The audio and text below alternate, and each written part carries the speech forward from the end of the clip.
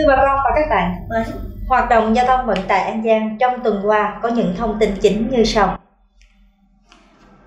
Ủy ban Nhân dân tỉnh công bố danh mục 3 thủ tục hành chính bị bãi bỏ lĩnh vực vận tải đường thủy nội địa thuộc thẩm quyền giải quyết của Sở Giao thông Vận tải. Bộ Giao thông Vận tải yêu cầu xử lý vi phạm sử dụng khai thác trong phạm vi đất dành cho đường bộ. Sở Y tế An Giang thông báo 13 cơ sở y tế đủ điều kiện khám sức khỏe lái xe. Mời bà con và các bạn cùng theo dõi. Phó Chủ tịch Ủy ban Nhân dân tỉnh An Giang Nguyễn Thanh Bình, hôm thứ Hai, ngày 8 tháng 4 đã ban hành quyết định số 786 công bố danh mục 3 thủ tục hành chính bị bãi bỏ ở lĩnh vực vận tải đường thủy nội địa thuộc thẩm quyền giải quyết của Sở Giao thông Vận tải. Theo quy định số 139A của Bộ trưởng Bộ Giao thông Vận tải, cụ thể như sau. Thủ tục cấp biển hiệu phương tiện thủy vận chuyển khách du lịch Thủ tục cấp lại biển hiệu phương tiện thủy vận chuyển khách du lịch trong trường hợp biển hiệu hết hiệu lực. Thủ tục cấp lại biển hiệu phương tiện thủy vận chuyển khách du lịch trong trường hợp biển hiệu bị mất hoặc hỏng không sử dụng được. Quyết định bãi bỏ thủ tục hành chính có hiệu lực thi hành kể từ ngày ký. Bộ Giao thông Vận tải yêu cầu xử lý vi phạm sử dụng khai thác trong phạm vi đất dành cho đường bộ. Bộ Giao thông Vận tải cho biết, thời gian qua, trên hệ thống đường bộ xuất hiện tình trạng người dân sử dụng trái phép lòng đường, vỉa hè, đất dành cho đường bộ để tổ chức các hoạt động như đám cưới, đám ma, hoạt động văn hóa, thể thao, lễ hội, vân vân, gây mất an toàn giao thông, ung tắc giao thông. Để hạn chế nguy cơ tai nạn giao thông, ung tắc giao thông do các hoạt động nêu trên gây ra, Bộ Giao thông Vận tải đề nghị Ủy ban Nhân dân các tỉnh, thành phố chỉ đạo cho các đơn vị chức năng, chính quyền cấp huyện, xã tăng cường tuyên truyền, vận động người dân thực hiện nghiêm các quy định của pháp luật về quản lý, khai thác, kết cấu hạ tầng giao thông đường bộ. Trong đó tuyệt đối không sử dụng trái phép lòng đường, vỉa hè, đất dành cho đường bộ để tổ chức các hoạt động như đám ma, đám cưới, hoạt động văn hóa, thể thao, lễ hội và các hoạt động khác có liên quan.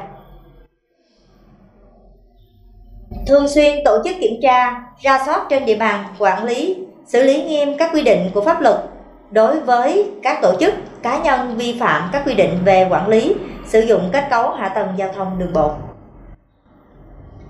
13 cơ sở y tế đủ điều kiện khám sức khỏe cho người lái xe. Theo công văn số 811 của Sở Y tế tỉnh An Giang, 13 cơ sở y tế khám bệnh, chữa bệnh trên địa bàn tỉnh An Giang có đủ điều kiện thực hiện khám sức khỏe cho người lái xe ô tô như sau. Bệnh viện Đa khoa Trung tâm An Giang, địa chỉ số 60 Ung Văn Khiêm, phường Mỹ Phước, thành phố Long Xuyên, tỉnh An Giang. Bệnh viện Đa khoa khu vực tỉnh, địa chỉ số 917 Tôn Đức Thắng, phường Vĩnh Mỹ, thành phố Châu Đốc, tỉnh An Giang Bệnh viện Đa khoa khu vực Tân Châu, địa chỉ số 485 Nguyễn Tri Phương, phường Long Thạnh, thị xã Tân Châu, tỉnh An Giang. Bệnh viện Đa khoa Hạnh Phúc, địa chỉ số 234 đường Trần Hưng Đạo, phường Mỹ Thới, thành phố Long Xuyên, tỉnh An Giang. Bệnh viện Đa khoa Nhật Tân, địa chỉ số 14, khóm Châu Long 7, phường Châu Phú B, thành phố Châu Đốc, tỉnh An Giang. Trung tâm Y tế thành phố Châu Đốc, địa chỉ số 4, khu dân cư khóm 8, phường Châu Phú A, thành phố Châu Đốc, tỉnh An Giang. Trung tâm Y tế huyện Phú Tân, địa chỉ số 123, đường Hải Thượng Lạng Ông, thị trấn Phú Mỹ, huyện Phú Tân, tỉnh An Giang. Trung tâm Y tế huyện Thọ Sơn, địa chỉ ấp Trung Bình, xã Thọ Giang, huyện Thọ Sơn, tỉnh An Giang. Trung tâm Y tế thành phố Long Xuyên, địa chỉ số 9, đường Hải Thượng Lạng Ông, khóm Đông An Năm, phường Mỹ Xuyên, thành phố Long Xuyên, tỉnh An Giang. Trung tâm Y tế huyện Tịnh Biên, địa chỉ đường Hải Thượng Lạng Ông, khóm Sơn Đông, thị trấn Nhà Bàng, huyện Tịnh Biên, tỉnh An Giang. Trung tâm Y tế huyện Tri Tôn, địa chỉ số 72, đường Nguyễn Trãi, thị trấn Tri Tôn, huyện Tri Tôn, tỉnh An Giang. Phòng khám đa khoa Medic An Giang. Địa chỉ số 2 đường Châu Văn Liêm, phường Mỹ Bình, thành phố Long Xuyên, tỉnh An Giang.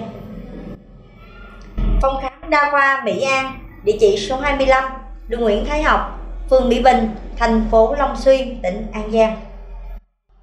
Bà con và các bạn, có nhu cầu khám sức khỏe để học thi lấy giấy phép lái xe hoặc làm thủ tục đổi cấp lại giấy phép lái xe, hãy đến các cơ sở y tế được nêu trên đã được cấp phép.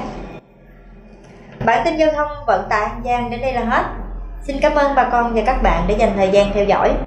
Xin hẹn gặp lại bà con và các bạn trong bản tin giao thông vận tải phần tiếp theo.